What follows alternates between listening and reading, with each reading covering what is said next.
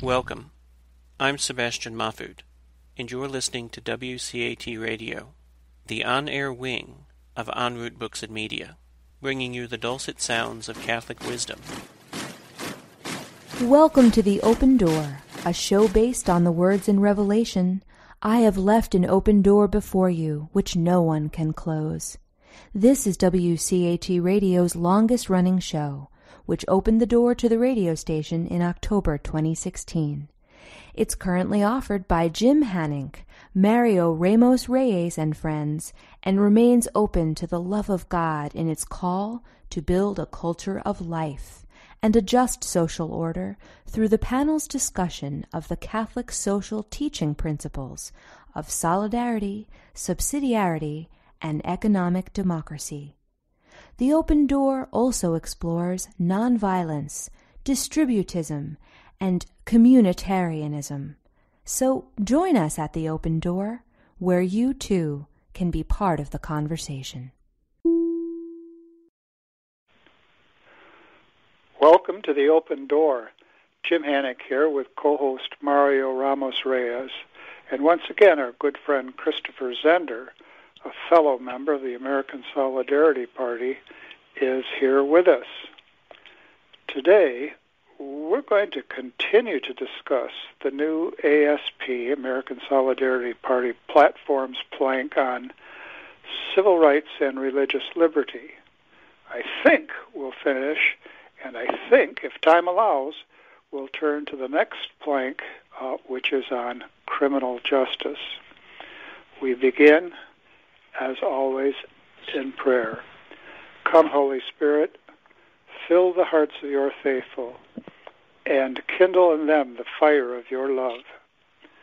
Send forth your Spirit, and they shall be created, and you will renew the face of the earth. Lord, by the light of the Holy Spirit, you have taught the hearts of your faithful. In the same Spirit, help us to relish what is right and always rejoice in your consolation. We ask this through Christ our Lord. Amen. Amen. The particular bullet point, and we go from platform to plank to the bullet points therein, that we'll begin with is as follows. It's uh, on the long side. Throughout our nation's history, racial discrimination has stripped ethnic minorities of their wealth and limited their eligibility to work, ability to own property, educational access, and voting rights at the individual and community levels. We recognize the particular forms of exclusion suffered by African Americans Latinos, Asian Americans, and Native Americans. These historic injustices should be addressed through reparative and restorative means, such as economic grants and policies which incentivize investment, job training, and hiring in minority communities, and by continuing dialogue between communities and local governments regarding minority concerns.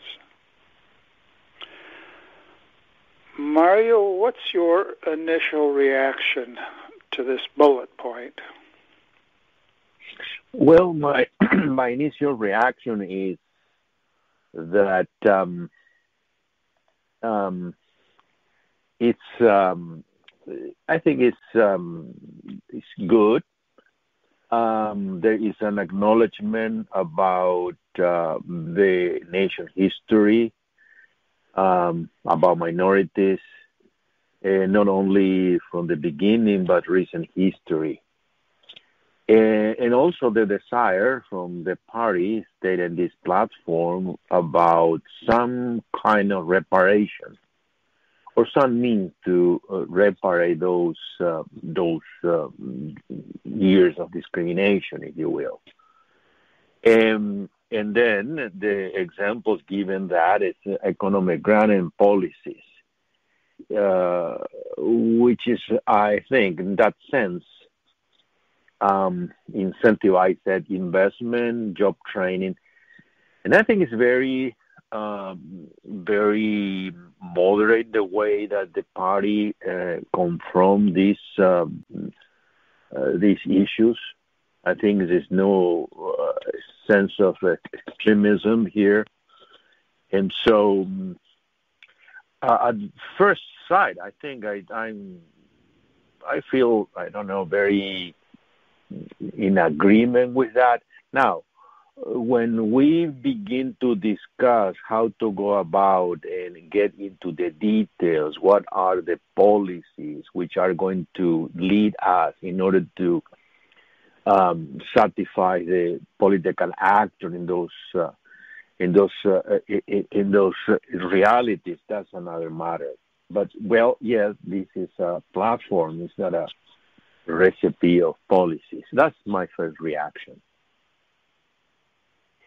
All right. So you think it's a, a good statement, and of course, the particulars, uh, well, they depend on all sorts of things, and they have to be worked out one by one, and uh, area by area, and uh,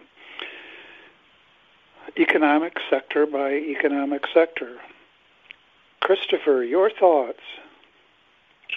Well, I, I think I'm, I'm basically agree with Mario. I, um, there have been historic injustices, and those injustices have their effects today.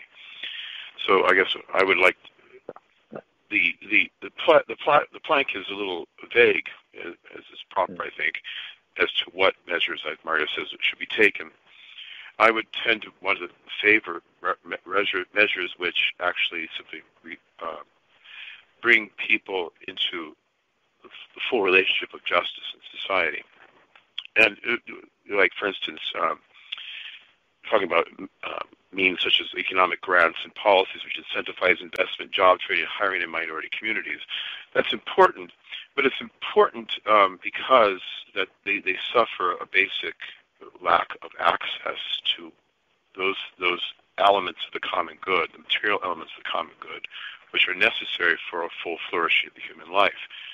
The thing is, is that there are other communities which are not minority communities that also suffer this way. I think of some of the rural towns here in Ohio, uh, mm. there, where very depressed conditions. Um, I think of places like Appalachia, and mm. so I would, I, my my emphasis would always be more on economic justice for everybody in every sector of society. And where that economic justice requires an, addressing the issues of race, then we address the issues of race. I but I'm not sure that's where we start, the issues of race. I think we start with basic injustices that people are suffering, um, whether they're w- white or black or brown, whatever. And then we go on to um, discuss what, say, added measures need to be taken to help people who have um, suffered from historic injustices. That would be basically my my emphasis. I, part of this too is I always worry that these issues are often used to divide and conquer the working class, people who are disadvantaged. So the one way you can keep them from being effective, having um, united power against the, the, the forces that would would keep them down, is by dividing them based upon things like race. That's uh, uh, perceptive, very perceptive. The the idea would then be, let's focus first on uh, class differences, and then uh, as we do that, we'll have a, a special scrutiny of race based differences, uh, country of origin based differences, and the like, rather than begin by uh, counting by counting by race. We begin by counting everybody, and then in in circumstances we look especially to people who have been excluded because of well here mention uh, African Americans, Latinos, Asian Americans, and Native Americans. And Appalachia is, is certainly an example. Let me give two particulars, and then perhaps uh, you both might respond uh, in light of these two particulars. Particular number one Inglewood High School. Um, let's say 50% uh, African American and 50% Latino. Uh, and the, the shift is increasingly towards Latinos. Uh, a group of high school students there within the last five years or so uh, pressed forward a legal case that called attention to the fact that there were no uh, no classes for high school students that would give them advanced placement at the college level. Uh, and when a change began, it was minimal. All of a sudden, there was one such advanced placement course. And all the time here, uh, the high school from which one of my sons graduated, the, the high school has been, as it were, in receivership to the state of California because the local school board simply couldn't manage it. Hmm. Now, as it happens,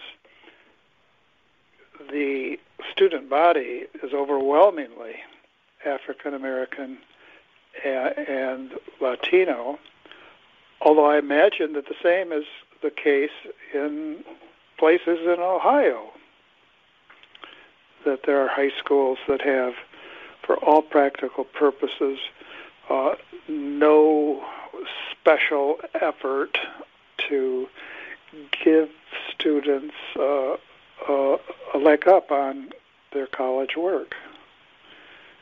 Would that be so? I'm yeah. I'm not. I'm not conversed enough with those conditions of public schools to say. Um, but it, I would it imagine. surprise me if that weren't the case. Right. Yeah. Yeah. I think that's. I know there. You know, some school districts have are really considered very prime here, and others are not. and the Columbus City schools, I don't think are considered prime, but some of the outlying, like Worthington, is a, a suburb, is considered to have a very good school district. So, right, how does it look in Kansas?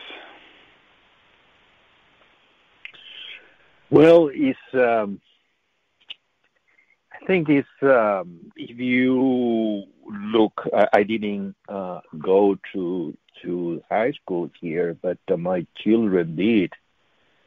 Um, what I perceive is that um, the access to uh, schools are related to the neighborhood where you live. And so um, the neighborhood where you live is based upon the opportunities you have. And so coming from outside and not knowing the language, not knowing how people relate one another, because always always you need to learn when you are an outsider, whether you are coming from South America or someplace else, but when you are coming from someplace else, it's more difficult. So in order to have access, you have to have opportunity. In order to have opportunity, you need to have the skills. Uh, that take a toll to people, and and and I experienced that. In order, in order where you need to make a double effort in order to take the opportunities that are being offered to you. Now, what sometimes is lacking is that uh, you don't have the support in order to get prepared to take the opportunities. And I think that is because the system, what uh, the economic system, lack the sense of the common good. The, I think the system, as I perceive that, is based mainly on competition. Competition, which means that, well, the, the most fitting individual is the one who win and have access. But then when you come from a different place, a different way of understanding, that is more difficult and take more time. And so um, now, and but there there are opportunities there, but it's different when you have to run uh, a, a long distance than people are already there. So that may feel you may feel you are discriminated. I don't see that as discrimination, rather than you're starting from a different starting point. So the question is to what extent our society can somehow um, receive those who come from a different place and help them in order to compete the other who are already there. That's very difficult. Uh, for a variety of reasons. Uh, you are um, uh, foreigners and, and, so on. You are just uh, got here and you need to get more experience and all that and all that. So that is a, a very unique phenomenon that you need to experience. Very hard to explain from outside. Let me uh, give you a comment which uh, caught my attention yesterday. Uh, I was uh, following to some extent, very careful, uh, very closely, but I just was following the Conference of Bishops election of the new president. And then I, I learned that the, the, the president elected, the, uh, Bishop Gomez from LA, well, I, I knew him by name. I don't know exactly uh, in person, but I, I know where he's coming from and so on, and even know his spirituality, you know. Um, and so and then the title, uh, and then you have the all the headlines, and he's the first Hispanic and the first uh, immigrant to become president, get elected president of the Conference of Bishops. And then some Catholics outlets make the comment, which for me were uh, precisely that point. Say, well, that's the first uh, president, and he is not even an American. That's the, the, the, the expression. Well, mm-hmm. he's naturalized American. Okay, but he says he's not even an American. Now, I, am not saying that it was intentional, but what I'm saying is that precisely that I think sometimes is the case. It takes more effort because there is a there is a long distance that you need to go in order to be considered. And that I think is an achievement, whether you like him or not, whether he is what you were expecting him to be or not. But I think we, in our um, issue regarding um, uh, migration and perhaps racial justice, we need to take into account this. And everything boils down, I think, ultimately in uh, what is the common good. I think the common good, I think, is is key. Is the common good just giving people who come here opportunities and freedom so that they can compete, or there should be something else, something else there. I think that's a, a reflection that uh, come to to me, and it's regarding this issue. It's, uh, it's interesting because um, to, to make a point. Yes, go ahead, Christopher. Oh, I'm sorry. Um, uh, because uh, something about the Ohio schools just came, I heard from the NPR local NPR station the other day about this whole thing, and one of the one of the things they were talking about was certain mandates that are made on teachers and protesting students, and the, the difficulty this in the Columbus City schools is that in some cases you have many cases in the poorer places, uh, whether whether racially based or not, is, is that you have parents who maybe both parents work one or two or three jobs, and so the assumption is is that parents are going to be helping, say, their children with homework. But when they're working like that, they can't do it. So the, the economic system tends to undermine the ability of parents to raise their children properly. And that that is one yeah. way that that's the that there's inequality, if you will, or lack of opportunity for the students in the in the schools because they live in an economic system which deprives a lot of people of, of a just living, of uh, proper access to what they need to feed and clothe their families, but also what they need in order to have the leisure time to st- spend with their families. You can't equalize everything, even if you had just wages, um, because there's going to there are going to be parents who are better parents and parents that are worse parents. But um, whatever society can do to make it easier for people to raise their children is going to go a long way in um, improving, I think, the whole the, the educational system as well. So everything that strengthens families will strengthen the education system. Exactly. Right. Exactly. Yes. Here's a, a opportunity, I think, for Catholic education uh, at the high school level. Uh, in Los Angeles, the greater Los Angeles area, there's a certain attention given every year to what we could describe as a kind of high school academic Olympics. And every year, two or three schools are, are the main competitors. And as Mario pointed out, there's schools that come from uh, affluent areas. Now, suppose we had Catholic education that was uh, less local in the sense that it didn't draw students only from one area, but it drew students from uh, throughout the larger Los Angeles area. Now, it, it could be that some of these Catholic schools, high schools, would be in different parts of the greater Los Angeles area. We'd expect that, but but nonetheless, they wouldn't be so localized as to be restricted to affluent neighborhoods. I could imagine those uh, Catholic schools providing very distinctive opportunities to high school students who would not otherwise have them.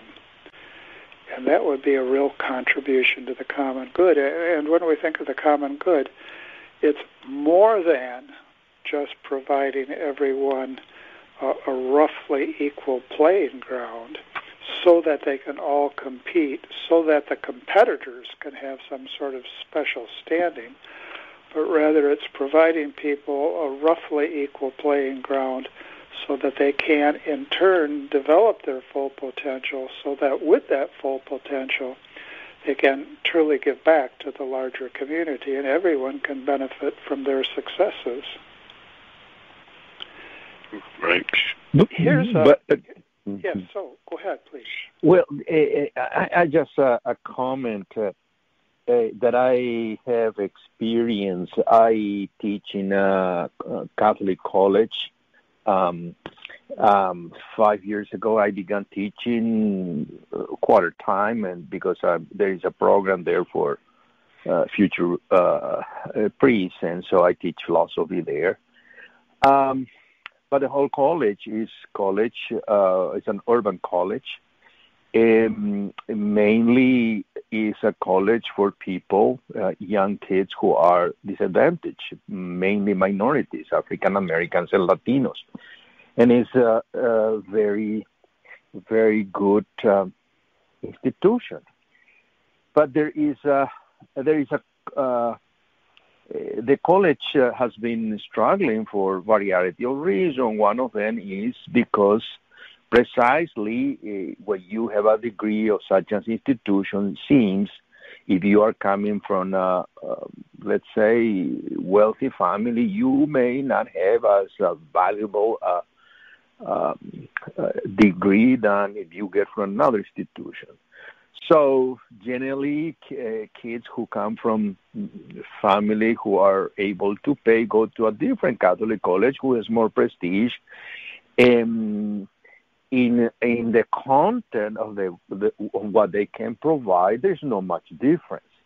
But yet there is a perception that some colleges, because certain um, uh, physical characteristic of the buildings or the the image they have built over the over time or the marketing they they have seems to be more appropriate certain families.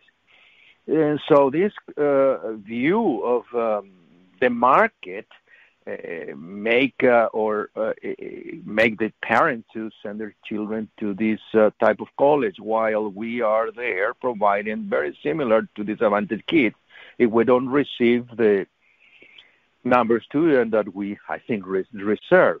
And I think everything boils down again to what is the image that we have or we are um, instilling in, our Catholic family about what is the common good or what is education. And I understand that there is a pressure from society which is asking the kids to really get the best uh, degree from the best university so they can get better job and so on. So it seems to me that there is a culture around around these uh, colleges, if you will, that put pressure, and there are certain uh, uh, ideas which are not are incompatible with the idea of the common good, and so that I think is very important to um, to try to promote this idea, the, the correct understanding of the common good, because that's hurting families who are really need um, need help in the good sense. Surely so. Let's before we move on, let's let's have one more example. I can provide one more local example of reparative and restorative strategies for redressing past wrongs. Going right by our parish church, uh, which has over 12,000 registered families uh, there in the parish. Uh, there's uh, a new part of Caltrans. Caltrans, California Transportation, is forever trying, and it's a hard thing to do, to bring more trains into the greater Los Angeles area.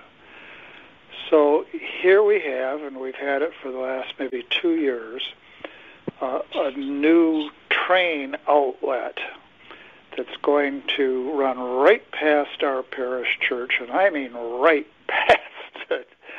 You want to cross the street?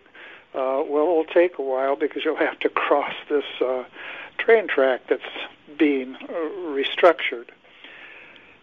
And doing this job amounts to hiring lots and lots and lots of people for the, the, the construction effort. And now, what I've noticed over the past, say, six months is a whole, what, two mile uh, range of large uh, signs picturing specific people, not with their last name, but with their first name Yolanda C., uh, Jefferson W., and a picture of the person. Mm-hmm. Uh, they don't look like just uh, stand-ins, actual pictures. Uh, people from that area who have been hired as construction workers to, to build what's going up right there before our eyes. Now, what was involved in that? Uh, it, it wasn't uh, first come, first serve. Uh, jobs are now going to be available uh, for workers for Caltrans, California Transportation. But there was, I, am I'm confident of this, uh, a, a real effort to try to hire people from that neighborhood. And then when the hires were made, to make it very clear that yes, that's what we said we were going to do, and that's what we did. And here are the pictures of these people, some of whom you might very well recognize. Now, I'm sure that along the way there was some injustice of some sort, but I think overall my impression was this took some real thinking.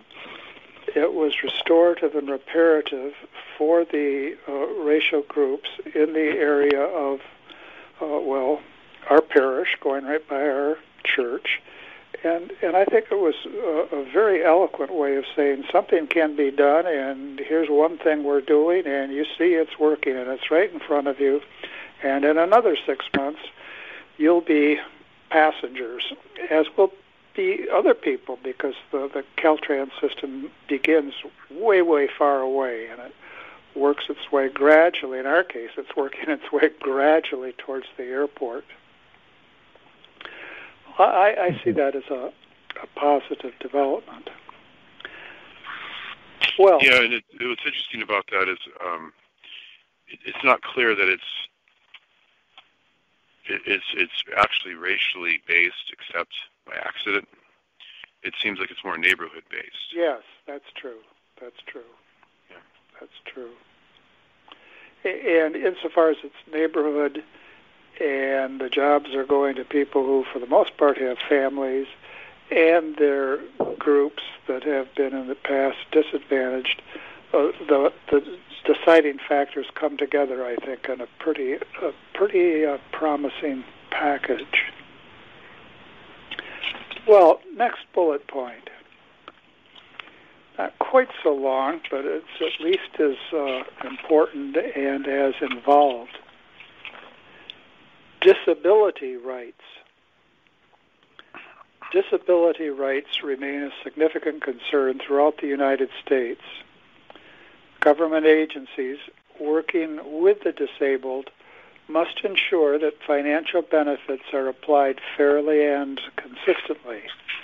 They must also make more efforts to incorporate the disabled into work or volunteer programs, depending on individual circumstances. Well, that's short enough that I could read it again. Disability rights remain a significant concern throughout the United States. Government agencies working with the disabled must ensure that financial benefits are applied fairly and consistently. They must also make more efforts to incorporate the disabled into work or volunteer programs depending on individual circumstances. You want to get us started with that one, Mario? Well, again, I think in reading these, and I read already a um, couple of times before, I think it's, um, it's clear enough, is uh, to my taste a little bit succinct, very short. I think should be expanded a little bit more. Um, but it's um, it, it's a good, uh, I think, uh, statement. Um, um, now, I would say, well, government government agency that include not only the federal government but local uh, local government. I think uh, that in, perhaps include that term, government agencies. Um, and and again, I think it's very general. Uh, perhaps may we may or it should be made more specific in certain aspects. But I think in overall, I I have uh, no um, no observation that is very relevant. I think. All right, so it's it's positive. Christopher.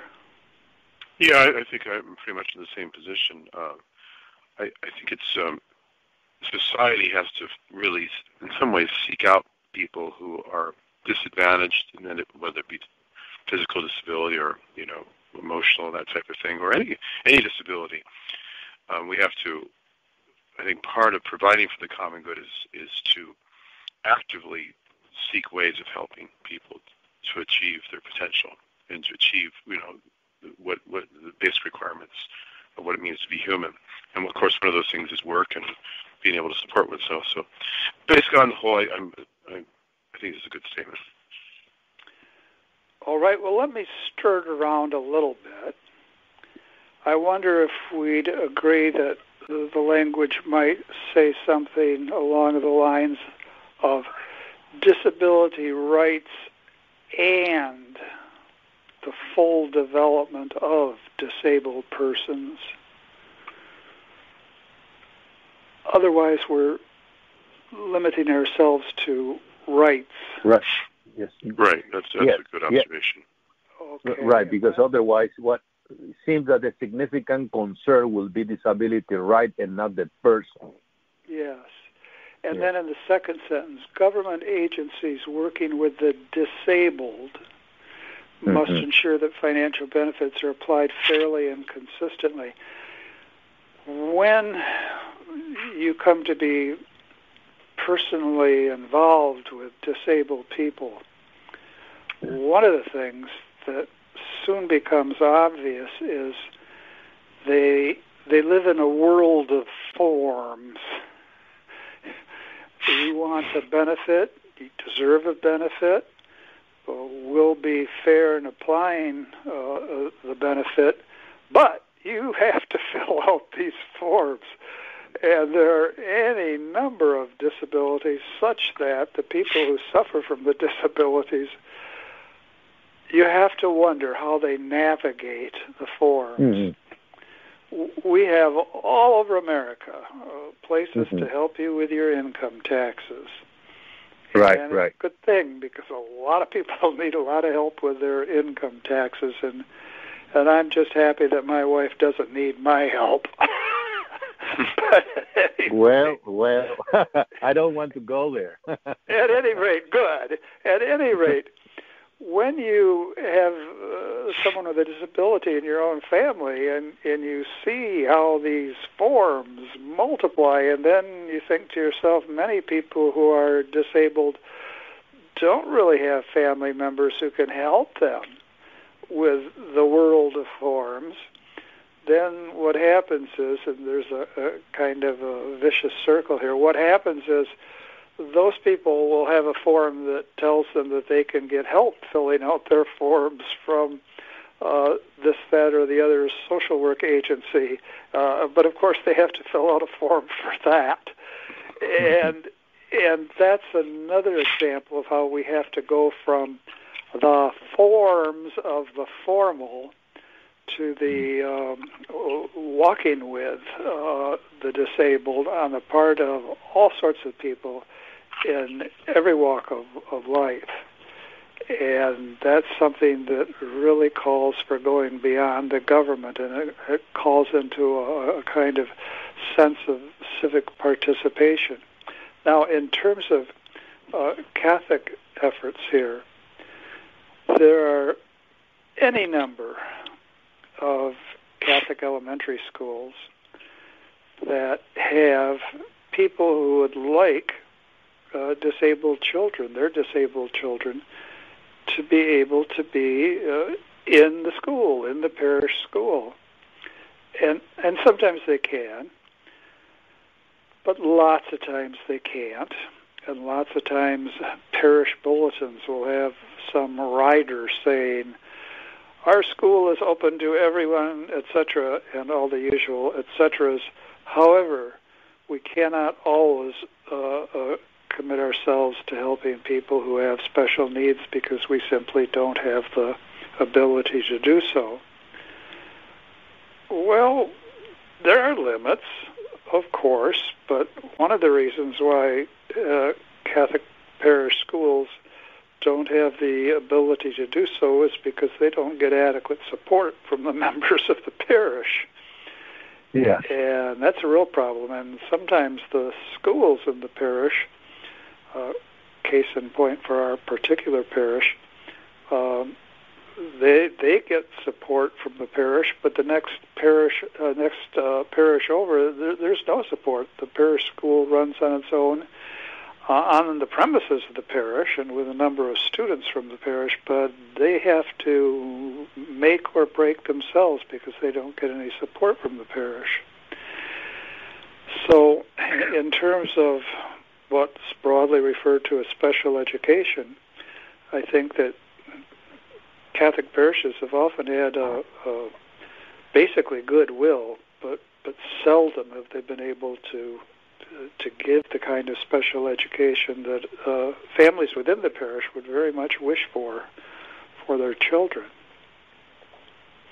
Mm-hmm. So that's something we Catholics could do a lot better with, and I'm sure the, the Lutheran schools, and there are a decent number of Lutheran schools here in uh, Los Angeles. I'm sure that Lutheran schools have the very same problem. Well, we go ahead to the yeah, or or not comment. Well, just uh, one comment about that.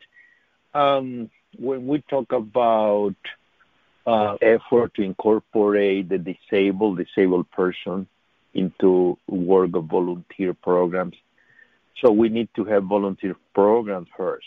We need people involved. Uh, we need people with, uh, engage in in in, in, in participate, have civic participation. That also imply that we are proposing and we should be proposing a model of society which is not mere merely um, competitive or merely a society which is getting delivered the goods from the state down to to the individual, down to the family, so that we are building our society from the bottom up, if you will. And that is being shown very clearly when you come to the U.S. to live from a different uh, way of organizing society. The history of Latin America precisely has been the opposite, where the church, because a different concordat, a different relationship with the with the state, and very often has been officially Catholic. By doing that, by, by um, having this uh, legal system, constitutional system, the church received through uh, the general budget, through the tax through taxes, uh, the fund that they need in order to keep their parish going. That gives society, particularly Catholic, a sense of um, not being very engaged, disengagement, because um, ultimately the state is the one who is taking care of the church. And the faithful is there just to worship, but not particularly interested in forming any voluntary association in order to keep things going. And so when the time came, particularly in the last part of the 20th century, that there were so many constitutional reform, and then the secularism, secularization began um, taking um, hold there. Uh, many states are separate from the church. And so what happened was the church did not receive anymore, at least in, in most countries, uh, money from the state. Uh, the faithful is not ready to jump in and help because they were not educated in that in this sense of voluntarism, if you will, association, civic engagement. And so in, in many institutions, the church just collapsed. And, and I think that means that ultimately is that the system there was not a system which was built on the common good. The common good, I think, was misunderstood. The common good was whatever the state can provide and we will receive. The sense of paternalism, we can discuss that historically where this idea come from. But I think that is a good, I think, a good point. In other words, we can deal with or we can be very, um, um, very uh, concerned and help the disabled person insofar as we have created society which is what we may, we may call a caring society, which is based upon on the principles, if you will, of solidarity, and principle of subsidiarity as well. And, and I have seen that because you see in the U.S. whether in some ways people forget here some things, but the difference is huge. And when you read Tocqueville, uh, as I've read uh, more than once, Alexis de Tocqueville, when he talked about the sense of community in American 1830s, um, you when you come from outside, you I think understand better what Tocqueville was talking about. He's talking about in that uh, book of uh, commentaries or memoirs. That's just my comment about this. Yes, uh, we have to keep the common good constantly in mind with a sense also of particular situations. The situation in Latin America had been very different from that in the United States. Let's go ahead to the next bullet point. Unjust employment discrimination and poor working conditions hinder career advancement and financial stability. We must insist on legal protection for occupational safety and compensation, good faith in hiring and retention, and paid leave for illness and child rearing. One more time on that. Unjust employment discrimination and poor working conditions hinder career advancement and financial stability.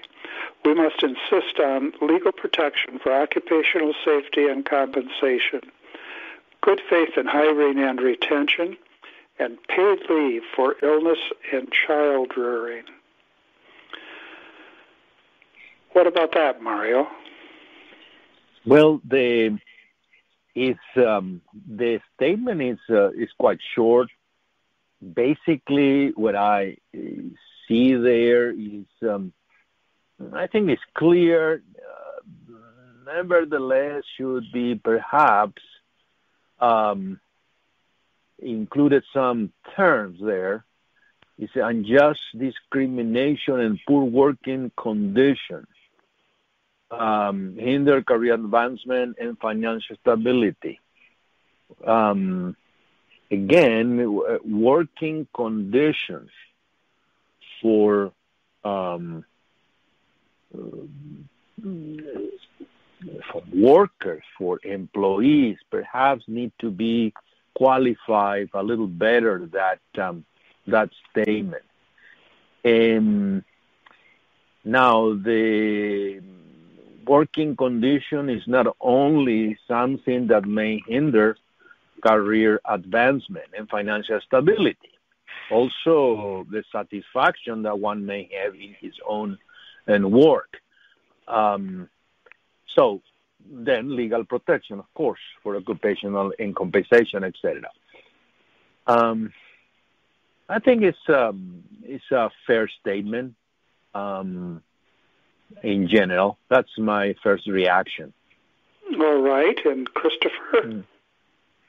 Well, I got a sense of bathos reading that line. The first line, we were talking about something that seems the, the gravity of the, of the terms unjust, unjust employment discrimination and poor working conditions, and then we end up why are these bad? Because they hinder career advancement and financial stability. I would, would I think that there's more serious uh, things they hinder than that. So those, not that those are not important, but right. that they're that they're in themselves violations of human dignity. Uh, mm-hmm. You don't mm-hmm. treat human right. beings a certain way, and that seems to be the more serious thing. And so it almost, I almost got this feeling that it was we were descending into um, NPR concerns. You know, the kind of things you would hear people complain about at NPR, talking about NPR, not what I would expect uh, a group like the American Solidarity Party to be emphasizing. Um, that being said, I mean, um, I don't have any profound, any other real objections to the to the, statement. I would just wish it were a bit stronger, more universal, maybe. Yes, yeah, so it's it's terrific to have career advancement. It's wonderful to have financial stability.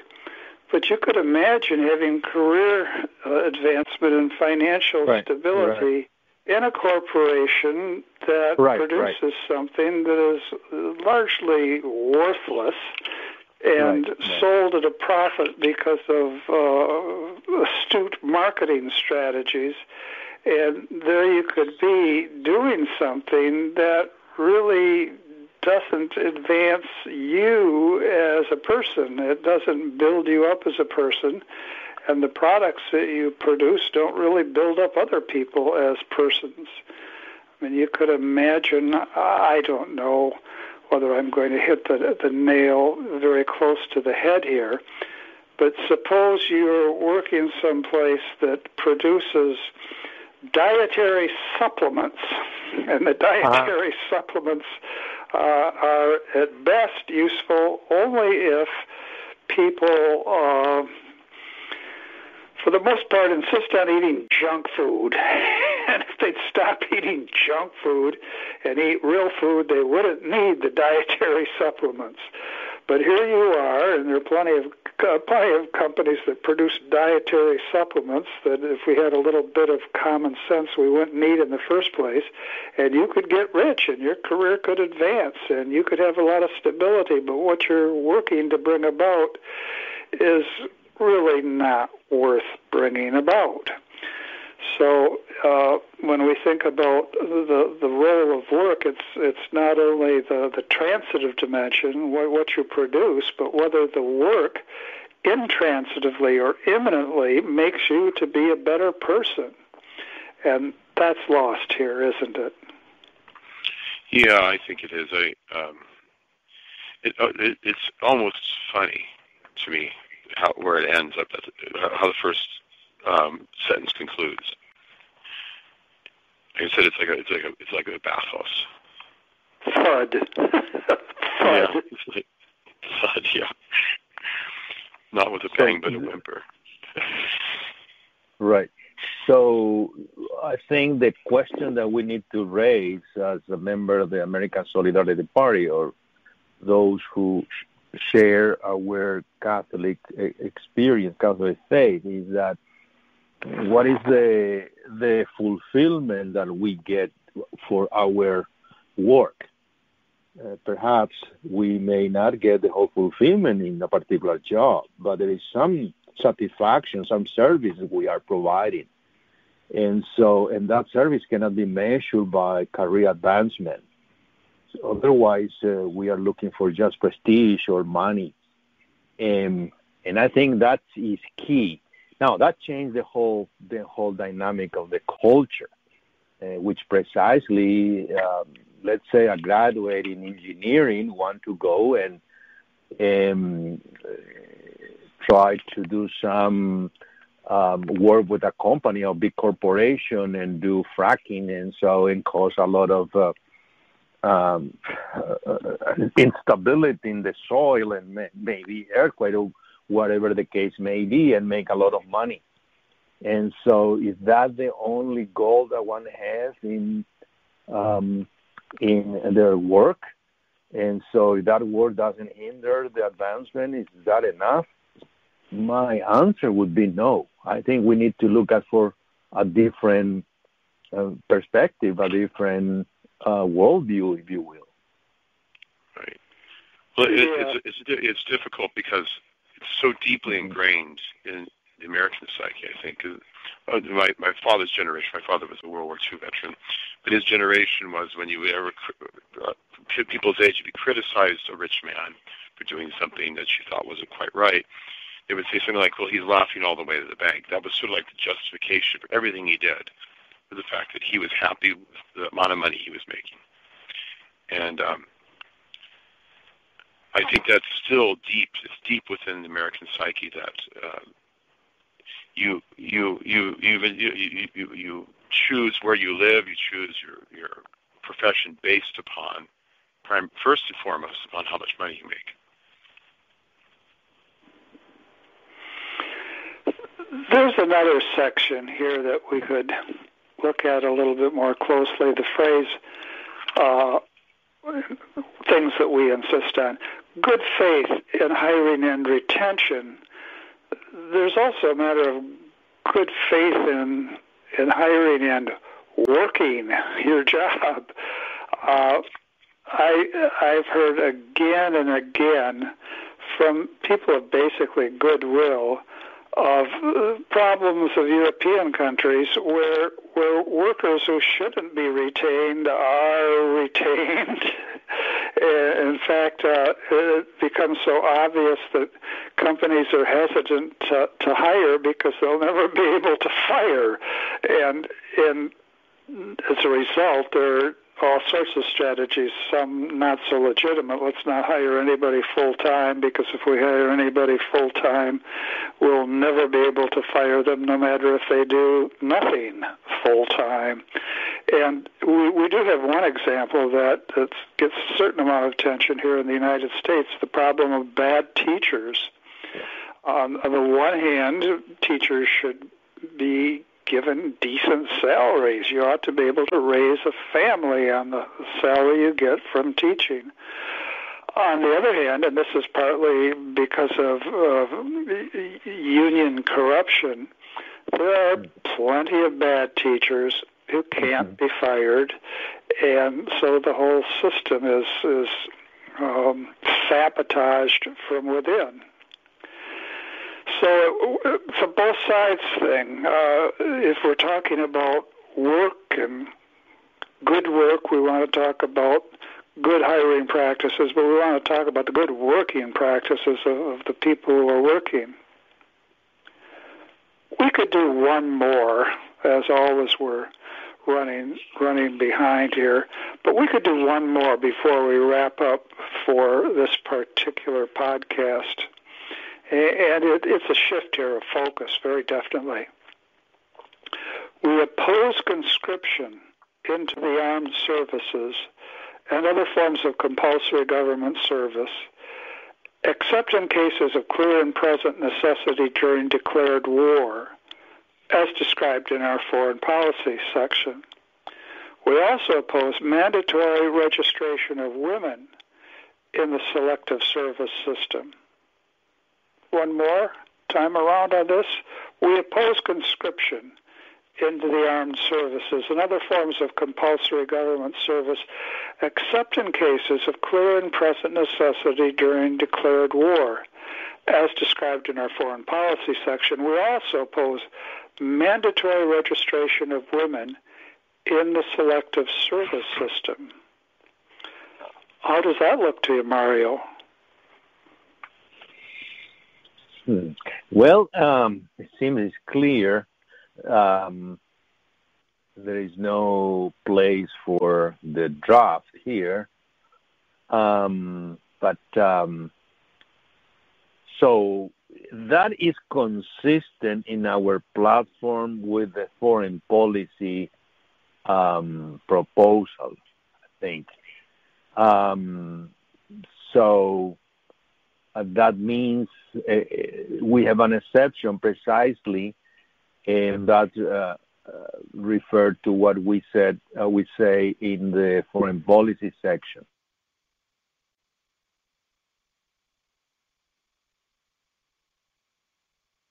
Another discussion is foreign policy discussion, but yeah. perhaps we need a little bit about that in order to understand the first part of the of the statement.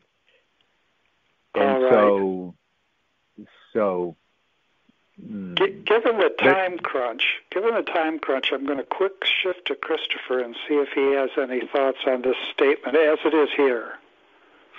Well, yeah, it's. I think it's. I think it's too vague. Um, what are what does it mean to be cases of clear and present necessity during declared war? Um, if the if our current adventures in the Middle East had been declared wars, would we thereby support conscription if the government deemed it necessary? um, I think I think it needs to be spelled out more under what circumstances um, what circumstances constitute clear and present necessity. Is it an invasion of the country that would justify a conscription, or is it simply the fact the United States decides to go to war in a country to secure its oil and therefore needs enough troops in order to do so? What is that? Right. What is that clear and present necessity? I, I think I think this could have had a lot more teeth in it. Um, right. I confess I'm I'm general I'm basically opposed to conscription. I would also say I would I, I would hope they would say we also oppose mandatory registration of men and women in the selective services. I, I would call I want to see an abolition of that. But I I'm, I guess I'm more on the more radical end of things on in this question. There is this irony that there's reason to want more formal declarations of war in order to prevent uh, a given administration simply from acting in a, in a, a, a unrestricted uh, way uh, involving itself in a country in, in foreign adventures. So the idea is uh, at least we could say that yes, this counts as a war. But on the other hand, if you say yes, this counts as a war, then all the measures uh, involving the draft come into play. Uh, so the, the, there's a, a, a worry there. And of course, you wonder why is it that women should not be required to register in the selective service system, but but men should? Uh, why require anyone to be registered? And then that takes us back to, well, we have to in cases of clear and present necessity, but then we're not going to say what those cases are. So we, we have a few stakes set up in this point. There are a few stakes put up, but we don't know how the stakes are related to each other or what connects them. Right, right. Yeah. Yes. Mm-hmm. Yes. I mean, it's sort of funny. Some of, our, some of our declared wars, like the Mexican American War, the Spanish American War, uh, are examples of wars that didn't need to be fought, but yet they were declared. And they had a need of, I don't think they, they didn't draft anybody in these wars, but still, I mean, conceivably they could be drafted. So. All right. Now there is one more bullet point that we have here, and while we're really close to the end of our time, we have a most generous sponsor in uh, en route books and media uh, with WCAT, its its radio presence. And so I'm going to read this, and rather than dig, dig, dig into it, it's kind of long.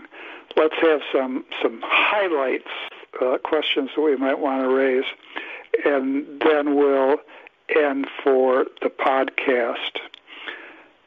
The government should not use national security. Hmm, we were thinking about that the government should not use national security to justify expanded censorship and secrecy, in addition to concerns about online censorship, uh, to be discussed in the civics section. Again, here a connection. Our commitment to civil liberties includes repeal of the Patriot Act and the reinstatement of basic civil rights, including the rights of citizens to a speedy trial in civilian courts. Secret tribunals such as the FISA court, F-I-S-A, that's the U.S. Foreign Intelligence Surveillance Court, if you're not familiar with the acronym. The U.S. Foreign Intelligence Surveillance Court must be abolished and military courts must be returned to their proper role. Foreign non-combatants must not be detained in American facilities or remanded by agents of the federal government to foreign prisons. What about that? Mario?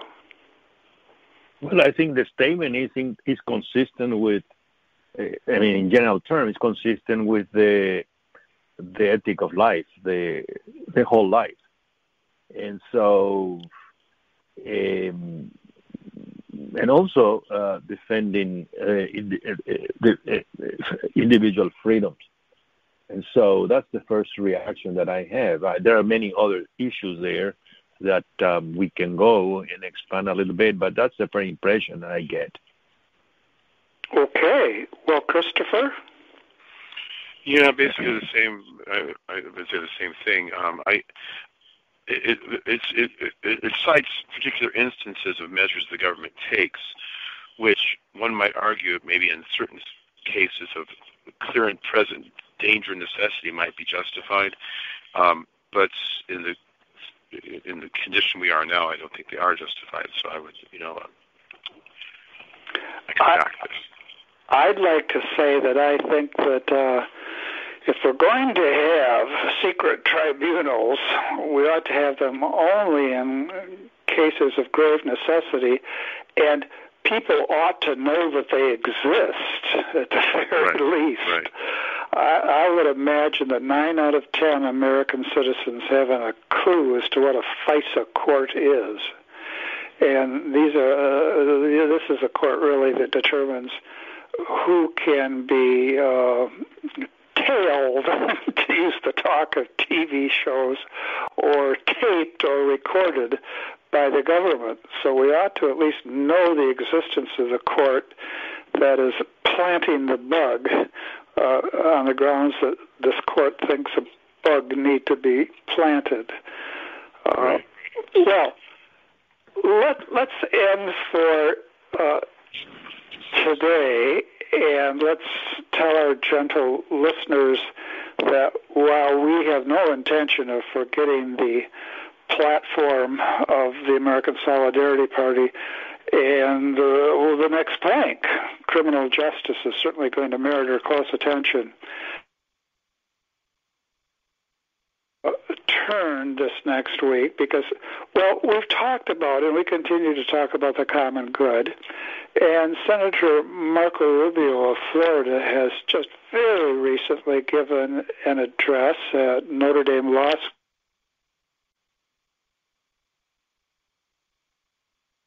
And the title, as I recall it, is Common Good Capitalism. So that's what we'll be looking at next week, and then we'll return to the platform. Let's end, as we always do, in prayer. And the gospel for today is the gospel from Luke. Asked by the Pharisees when the kingdom of God would come, Jesus said in reply, The coming of the kingdom of God cannot be observed, and no one will announce, Look, here it is, or there it is. For behold, the kingdom of God is among you. Then he said to his disciples, The days will come when you will long to see one of the days of the Son of Man, but you will not see it. There will be those who will say to you, Look, there he is, or Look, here he is. Do not go off, do not run in pursuit. For just as lightning flashes and lights up the sky from one side to the other, so will the Son of Man be in his day. But first he must suffer greatly and be rejected by this generation. Come, Lord Jesus, come. Hi, everyone. Dr. John Acquaviva here, author, professor of exercise science, and host of Faith in Sport on WCAT Radio. Please join us as we discuss current events in the sports world, bring on inspiring guests, and discuss how our Catholic faith impacts all who are involved in sport the athletes, the coaches, the referees, and yes, even the fans. So join me, Dr. John Acquaviva, as I discuss my two favorite topics my faith and the world of sport on the Faith in Sports Show here on WCAT Radio. We hope you enjoyed the program and will join us back for another show on WCAT Radio. This is Sebastian Mahfood. Good day.